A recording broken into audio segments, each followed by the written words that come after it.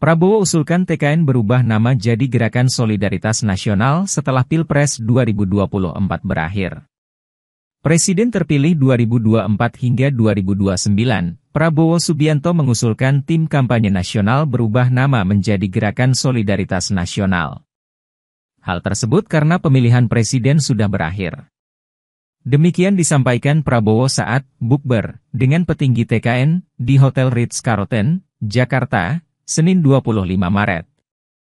Mulanya, Prabowo memahami bahwasanya Pilpres 2024 sudah resmi berakhir. Namun, ia pun meminta agar TKN tidak boleh dibubarkan. TKN memang harus berakhir karena kampanye sudah selesai.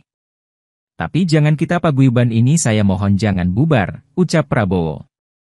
Ia menuturkan bahwa TKN nantinya berubah nama menjadi Gerakan Solidaritas Nasional.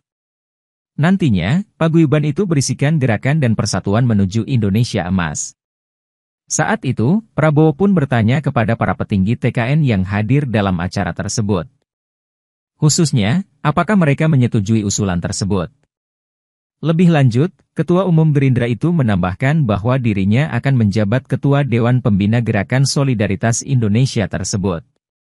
Nanti ketua Dewan Pembinanya adalah Presiden Republik Indonesia yang ke-8, tutupnya.